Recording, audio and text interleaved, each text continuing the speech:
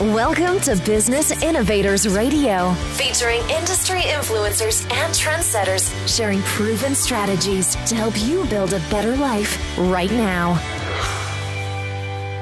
The Authority Syndicate, the show for positioning yourself as the number one authority in your industry, quickly turning your prospects into clients and raving fans. Here is your host, T. Allen Haynes.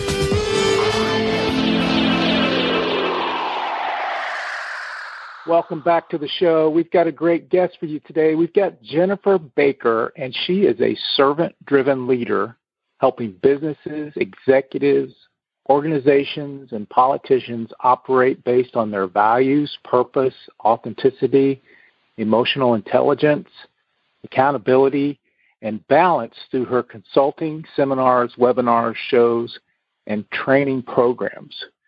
Recently, Jennifer was selected as one of America's premier experts and spends her time speaking, training, and supporting tens of thousands of companies that range from solopreneurs and home based businesses to Fortune 100 companies worldwide. An author, talk show creator, and host, radio host, streaming worldwide, business and political consultant, professional speaker, trainer, certified digital marketer an expert in online marketing, Jennifer is also one of the top ranked master certified authorized expert solution providers and speakers with Constant Contact. Jennifer, welcome to the show. that is a mouthful. Do I well, know that amazing. woman? Yeah.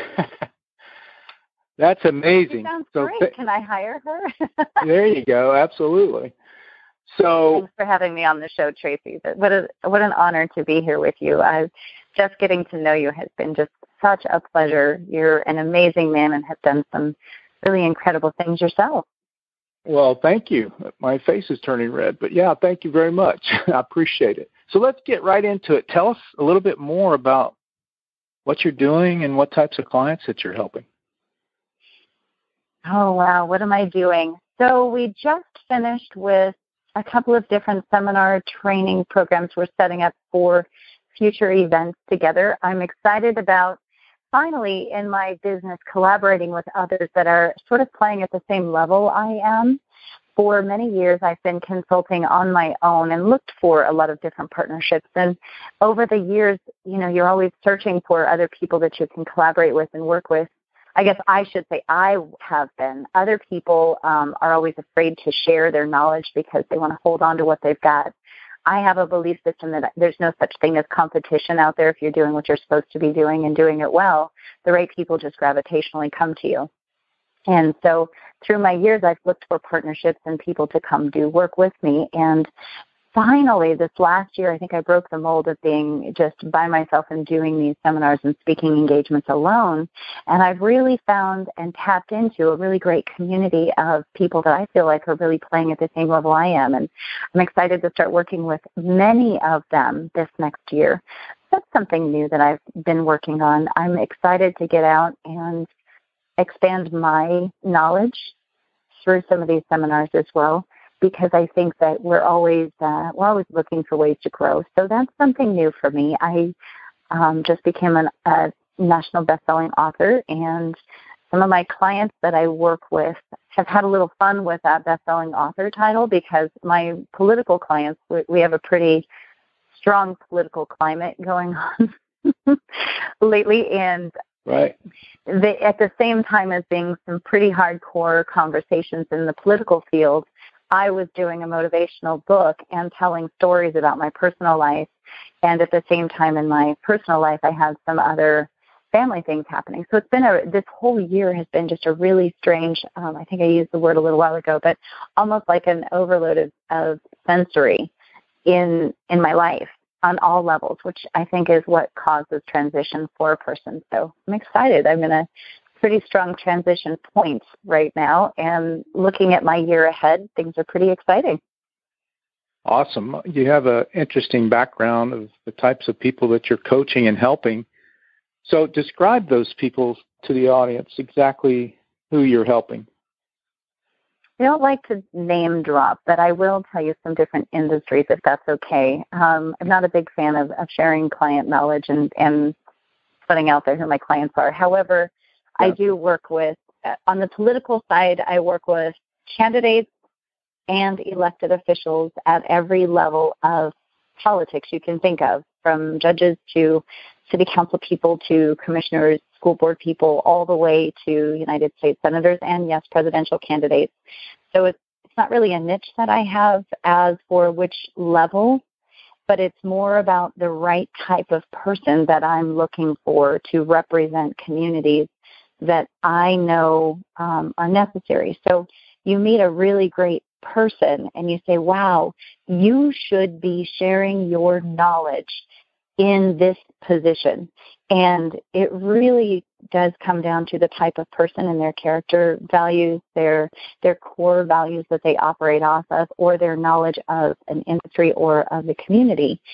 Oftentimes, I'll help try to find people like that, so we have real people representing us and if you can't find them, then you at least find the ones that have been elected to that position and help them sort of pull from the people in the community that they need to know and have them as resources. I think that's really important to our climate. The world has changed in politics, and I think that it's becoming more of an authentic representation of what we want out of our out of our representatives than it ever has been because of the digital age and being able to research anybody we want at any time and we're not just relying on you know the typical media to get information. Today we can go out and research and find find lots of things including you know who people are their core values their families their um, knowledge in business etc so um, that part is my political world. In my business world I do a lot of work with different associations, organizations.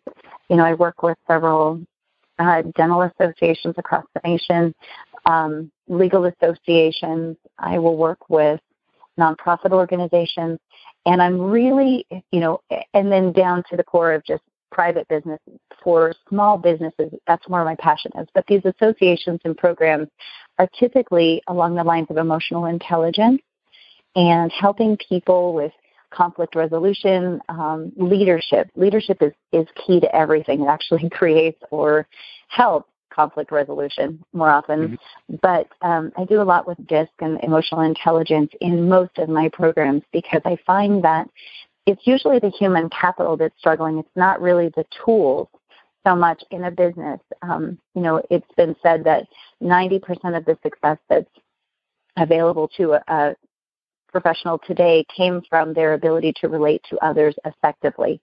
And I believe that. So my goal is to help keep as many people employed as we can by one, helping them learn to co- collaborate better and work together and get along better. And then after that, the hard study, you know, the actual practical hands-on training can begin. But first, what's been missing in our education system and is missing in our workforce is that ability to collaborate and work together effectively. So I do a lot with those. And then small businesses, I just teach them how to grow and, and do business better and of course relate to others. But that's where I, I teach more of the tools with like Constant Contact comes in and some of the other online marketing companies like Vivial and um, Infusionsoft. And there's several others that are out there that are practical hands-on tools that small businesses need. Very cool. What led you to you doing this or to this field, and how did you get started? well, there's another subject. Um, I actually say by the grace of God, but what I mean by that is this was by no means my original design of my business. When I started in business nine and a half, almost 10 years ago, so I'm coming up on my 10 year anniversary this year, which is probably why my world is, is turning into a stronger transition and, and taking my world to a whole new level. But ten, nine and a half years ago, ten and a half years ago, when I was planning my business, I certainly didn't imagine that I would be doing what I'm doing today. In fact, I thought I would be doing executive coaching for hardcore, staunch executives who really didn't believe in all the fluff, success values, and things like that to go into transition to go actually start doing what they were meant to do here. I didn't really believe in the whole um, the secret. I guess came out several years ago, and I didn't believe in all that fluff stuff. You know, um, mm-hmm. if you just will it to happen, it does. I believe the harder you work, the more you focus on something, the more you could make something happen back then. And um, so, just looking at my my belief system back then is different as well. But back then, I thought I would be more coaching and consulting. I thought I would be writing books was something that was a dream of mine when I maybe retired for the second time because I did retire from my my gaming executive position to start my business. Um, and today it evolved really just from finding an issue and wanting and having the desire to fix it. And I know that sounds crazy, but it was actually in a message that I was sitting through a seminar one day and the message came across. You know, when you walk in a room and you see something that's wrong, that's actually, they said, God telling you that it's your job to fix it. and that message resonated with me so much because through many areas of my life, I have had those moments, and I did actually think, wow, I think it's up to me to fix it. And I did. So, as an executive, that was my job in in the, that world.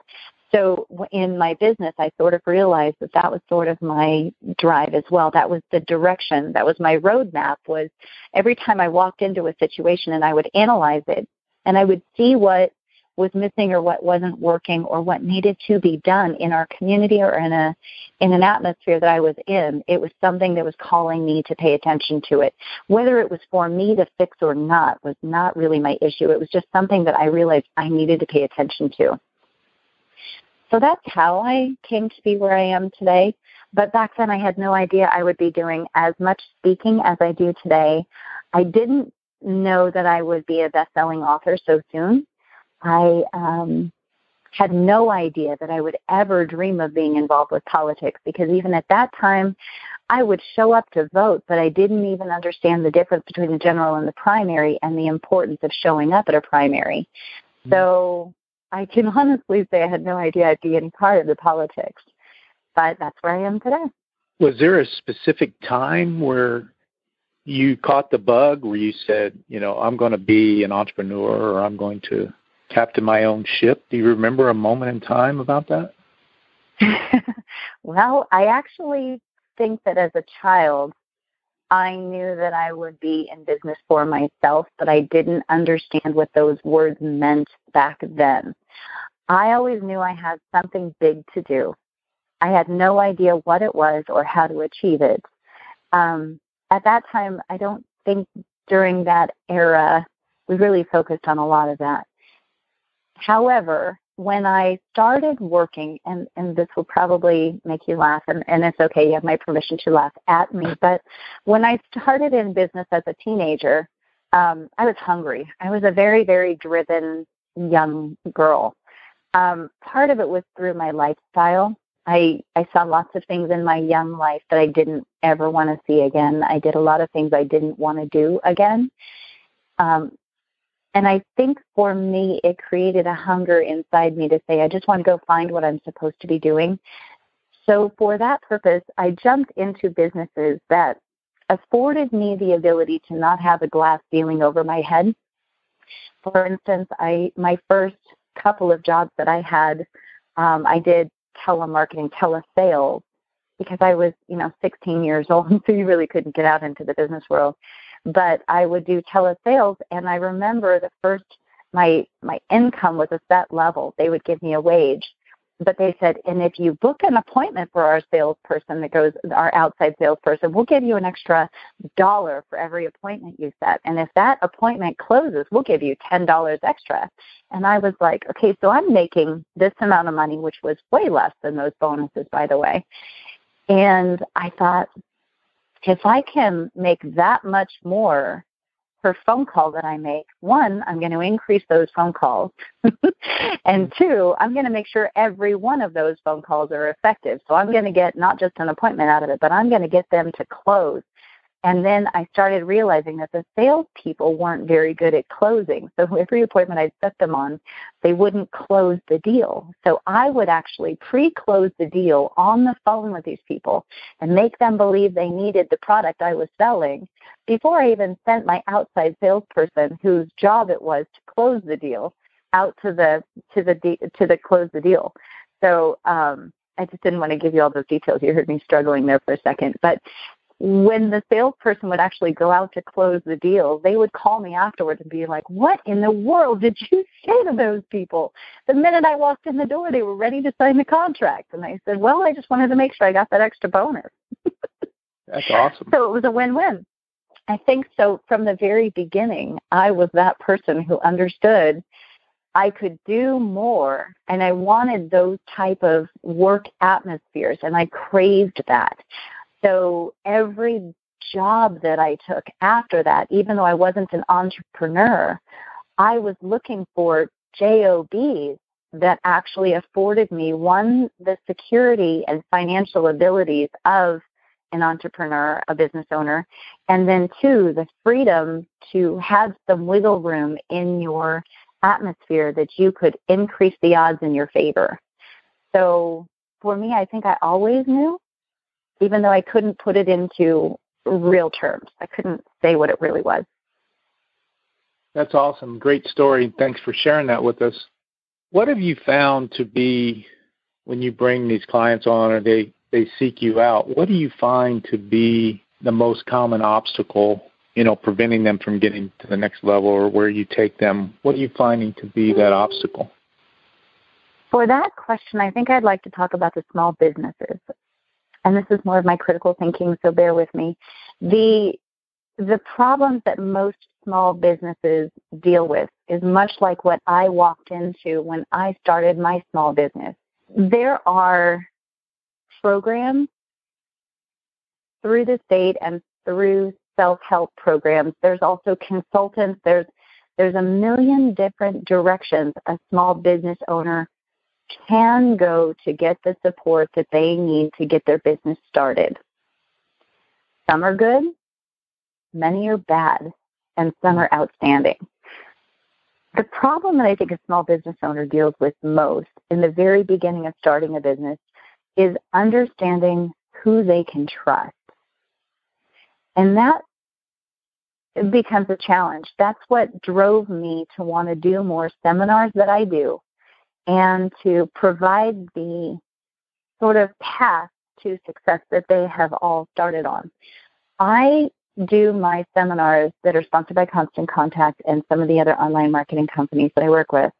Um, I do those typically at no charge, and it's really just an open forum for businesses to come in, learn about the subjects that I'm working on. Of course, Constant Contact has me talk about their tools if need be, but when I speak to associations and such, it's just to talk about online marketing or um, social media marketing or digital tools of some kind, and it doesn't have to be um, branded by any such name of any company that's you know that's there or that I talk about. But when I do those moments, I feel at my best that I am serving the small business owners to the highest level that I can by just providing them truth with nothing attached to it besides what they need to know.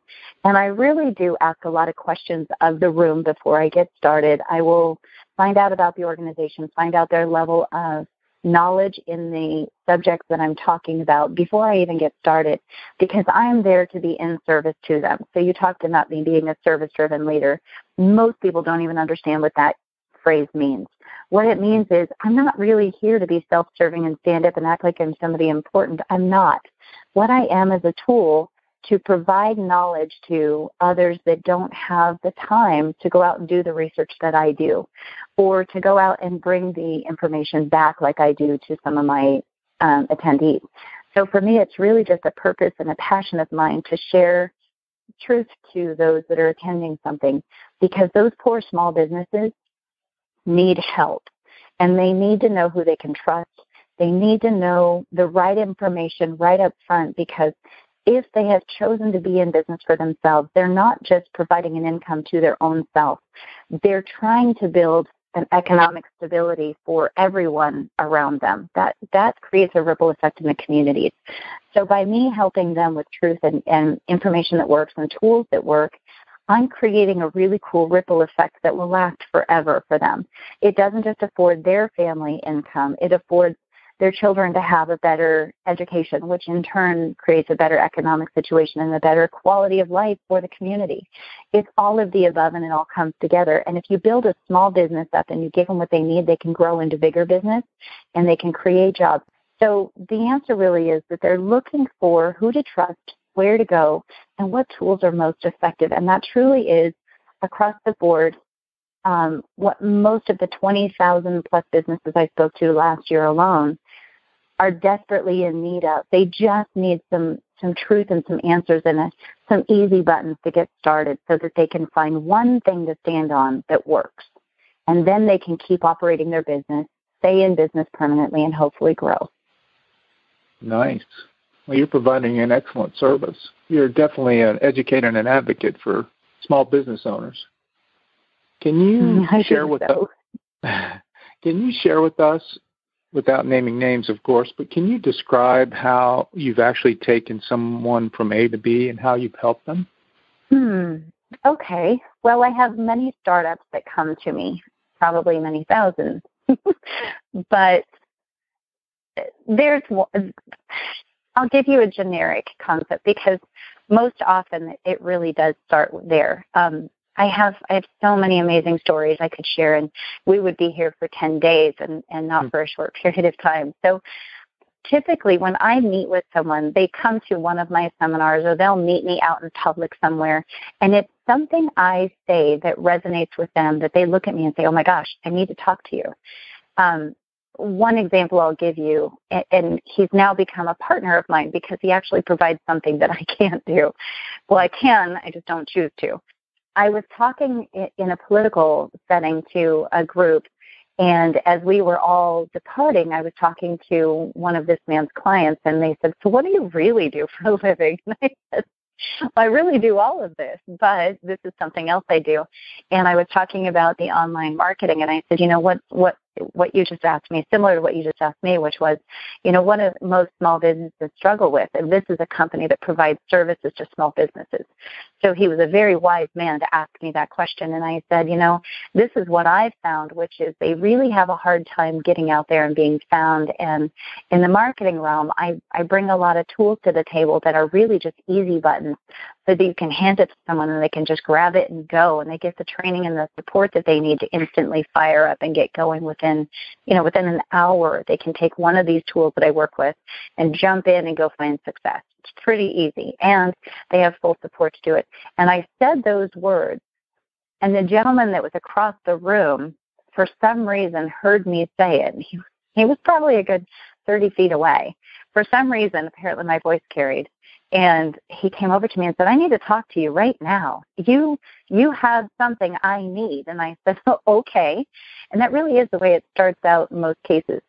For this company specific, they were doing something completely different. They actually did startup business licensing, for instance.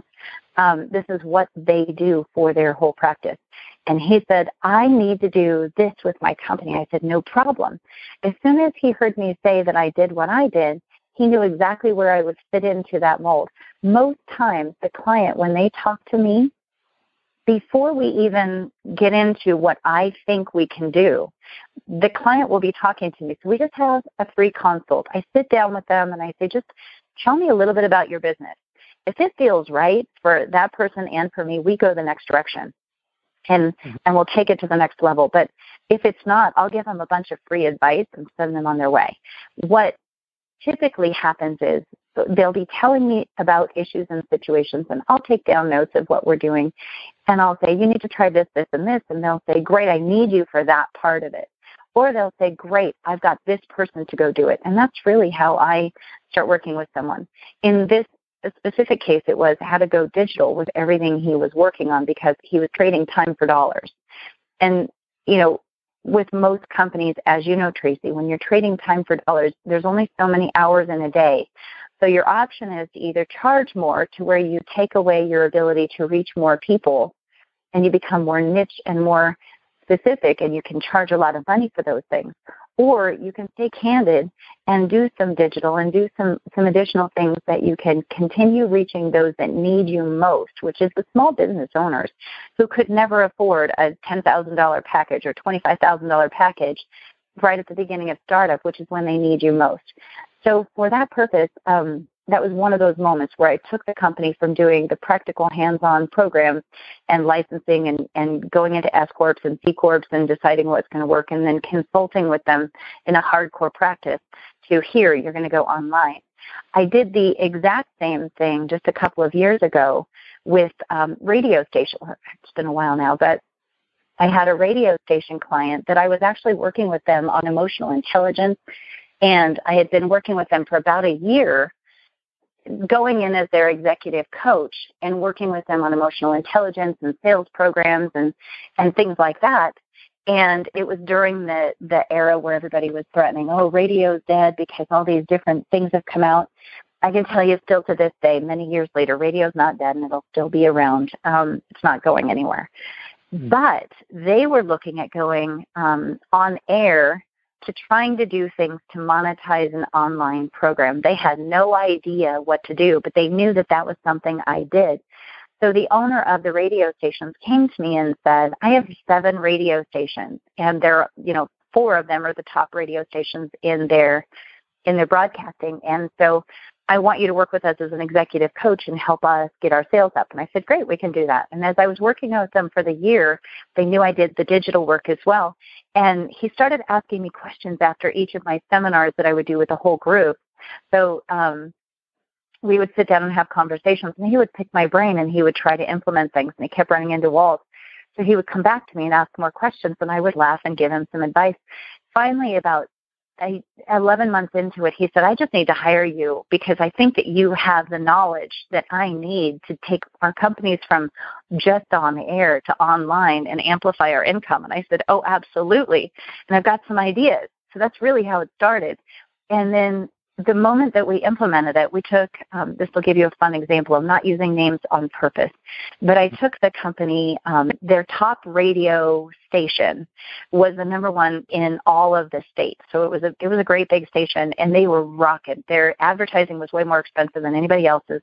The thing with me about traditional advertising is you can't validate it there's no way to measure. You know, you used to be able to say, well, we're going to reach 100,000 people 25 times this month by this radio ad, but we you couldn't prove that you brought those clients to the table for your advertising clients.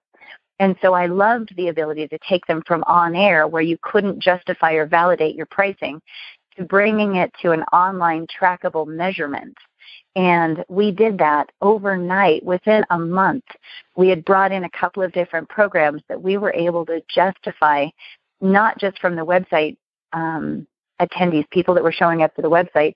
They were, at that point, all seven radio stations. And I told you four of them were top. All seven of them were getting about 100,000 hits per month. It wasn't a lot back then. To one station had 480 um, unique visits to their website that next month.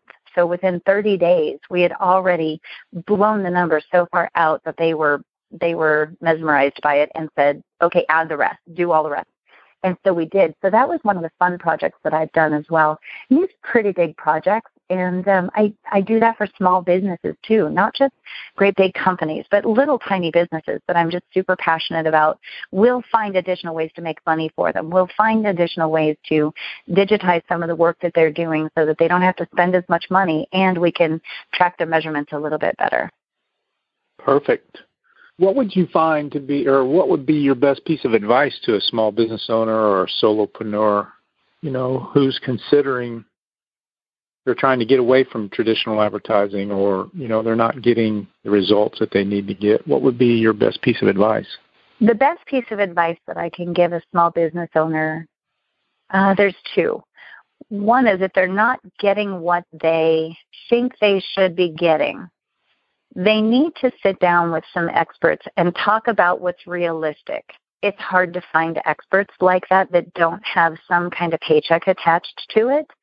So in most communities across the nation, I am an SBDC advisor for a specific region here um, in the U.S., but I would say to go sit down with experts that actually know what they're doing, that don't have any skin in the game to give them the expectations that they think they should be getting. And they can get some real answers from them. So if they go to the Small Business Development Center, the SBA loans um, kind of funds a program called SBDC. Typically they're at colleges or at chambers, et cetera, across the nation. Those people are paid to consult a small business owner at no cost, which is fantastic, and help them get real on what their expectations are and get real on their messages. So I guess in one part it's get real with your messages, get real with your expectations. And then they can sort of fine tune what they need to do from there. The other is if they're not getting results from the work that they're doing, they either A, don't know how to measure it, or B, they haven't quite figured out this whole business development thing in the first place.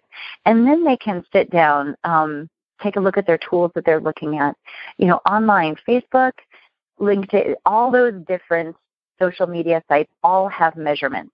Your email marketing has measurements. Your website has measurements all of that has a measurement. If you look at the messages that you put out and you see that you got really strong traction from a specific message, then you know that that's the right message that your audience, your actual niche clients are looking for.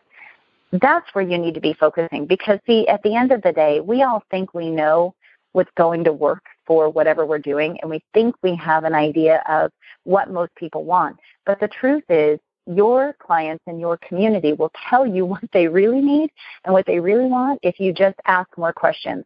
So, my second part of the advice is ask a lot of questions, whether it's through a survey or it's asking a verbal question and really being open to the answers. Every small business owner should be asking more questions than they are going around telling people or chasing their tail trying to figure out. Yeah, it can be a daunting experience for a business owner and an entrepreneur, especially when they got their head down trying to run their business and you know all this other stuff that they need to be doing. Somebody needs to be right. them along. What, what plumber wants to go out and try to figure out what marketing works? You know. exactly. So, congratulations on your recent publishing with Jack Canfield. Tell us a little bit about that. That's awesome. No, that was a gift. It was fantastic. So I was just having this conversation with um, with one of my other mentors, and the Jack Canfield subject is really cool to me. It, it's very, very deep in my heart. Um, when I first met Jack Canfield, I was 19 years old. You heard really? me say I was a hungry, hungry teenager. I I wanted a different life. I wanted to take my life to that next level as fast as I could.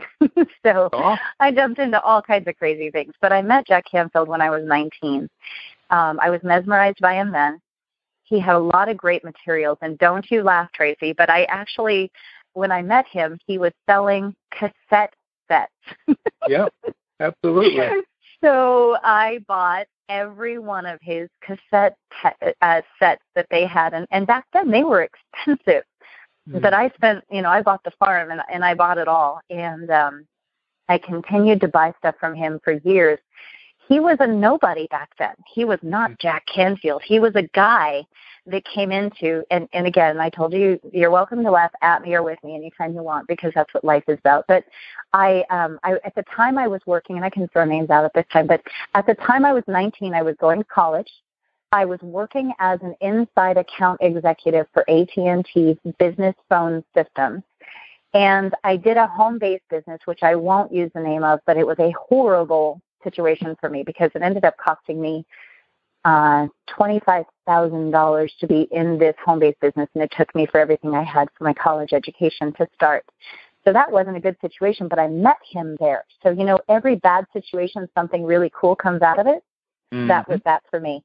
Jack Canfield was my golden goose egg out of that, all of that. I can tell you, it's afforded me more money 20 something years later, but, but it wasn't such a good deal back then. Um, but I met him through that atmosphere you know the nice thing about home-based businesses and, and i've become a fan which i i wasn't for 20 years i hated the industry as a whole but i've become a fan of the industry because over the years, I learned that they really do push people to professional success, professional development, personal development tools that I always thought were awesome. I just avoided that whole industry. So um, I think it's a great industry. Don't don't get me wrong. I'm not knocking it, but that's where I met him, and I always bought his stuff. I always followed him. You know, over the years, I watched him grow into somebody who was like an icon, which is great. Um, you know, many years later, the Chicken Soup for the Soul series came out, and of course, him and Mark Victor Hansen wrote all of those, and I became a big fan, and I bought many of those books and gave them out to friends. So it was great, but I never saw him again. So it wasn't like you know I became close to him or any of that. Um, it wasn't until about four years ago I met one of my newfound mentors. Um, if you read my chapter in the Road to Success, you'll actually see that I talk a lot about mentors in your life I can't tell you how critical mentors are, which is part of why I mentioned the SBDC and then go find experts that do things that you need to hear. They can be mentors to you. Um, the the mentor part of it, I met this amazing man who introduced me to another amazing man. Um, Doug Damon was the man who introduced me to Dr. Tom Hill. Dr. Tom Hill had written Chicken Soup for the Entrepreneur's Soul with Jack Canfield. And when he mentioned that to me, my ears perked up, of course, because I remember the fond memories of meeting him myself. And we had this great conversation about it. And he was like, Yeah, it was really great. What a great experience. It was really awesome. I got to write one chapter. I went, Ooh, that sounds awesome. Who has time to write a whole book and go out and market and advertise for a whole book right away. So for me, I went, oh gosh, that sounds fantastic. Soon, I'm going to talk to you about that. And I left it there. And about two years later, it circled back around, two and a half years later, it circled back around to me that the message came that Jack was writing another book or that another book was coming out with Jack Canfield and I might have an opportunity to do something with it. So I sent an email to my fabulous, amazing, wonderful mentors and I said, Hey guys, you know, I've I've reached out to them many times since then. I have no problem, and they they know many of my deep dark secrets and fears. And I said, hey, I need your help. I haven't asked them for anything up until this point, so I said, I need your help. Um, would you do me a favor and give me a, a good word to be able to get into this book? And I was getting ready to do a seminar in Sacramento, California. I'm going to get choked up over it, but it was kind of cool. I um, I was getting ready to do a seminar for businesses. It was a small business seminar um, at the Metro Chamber there in Sacramento, and it's downtown. If you've ever been there, it's kind of a cool atmosphere. It's right next to the old Sac, so it was kind of you know it's one of my favorite places to be. And I showed up, and I was getting ready to walk in, and you know I'm getting ready to get serious and help all these small businesses, and I had a room full of people, and I um, I sent the email early that morning at like four o'clock in the morning, and they're on East Coast time, and I'm on West Coast time, and so I, I thought, oh, before I start this seminar, I want to check my email just to see if he responded. And I opened up my email and I got, and I'm not very emotional when it, it's like the teary eyed stuff, but I got teary eyed and super choked up because the only thing that man said to me, I sent an email to both of them, and and um, Dr. Hill responded and said, "Done." That was all he said to me. so I got emotional. I was like, "Oh my gosh, oh my gosh, it's going to be. It's, this is a done deal. It's going to happen. Like it, this stuff is going down." And I shared it with everyone in the room. So it was just one of those moments. It was very exciting to me to to do this book. To and I knew it was done. I knew that his recommendation and putting the energy into it was just a done deal. It was going to happen. So at that moment, I knew it was going to happen. And that's how it really came to fruition. I'm pretty sure he sent an email over and said, Hey, Jack, you want to check this girl out? She's kind of fun. Um, she's goofy. She's quirky, but she really knows her stuff and she really has a passion for wanting to help, um, help the world get better and, you know, spread happiness and spread the ripple effect of positive, effective things happening. And so I'm pretty sure he did that since he said it was done, I'm I'm confident that I can trust his word. And at that moment, that's when it all came together. So after that, about a couple weeks later, I got contacted by the company, and they said, "Hey, by the way, congratulations, you're in." So it all just started rolling from there, and they made it very seamless, very easy. Um, much like the way I met you, it was from somebody else that I affected in a positive way, who sent me a quirky little email in the middle of the morning. I love my early mornings um, I, I learned at an early age that saying the early bird gets the worm. So I tend to get up really, really early in the morning and I love to watch the sun come up. So I got an email early in the morning from somebody in a different time zone from me who said, Hey, you need to meet Tracy. So um, T. Allen Haynes is this really awesome guy. Here's his information. Here's his background. You need to talk to him. And that's how it came about. So I'm always open to opportunities and to really cool things to happen to me. I'm very discerning because lots of things are sent to you on a regular basis. Mm-hmm. But when you know it's right and you just focus on that energy, it just becomes what you're supposed to do. So um, that's how I met you. I love it.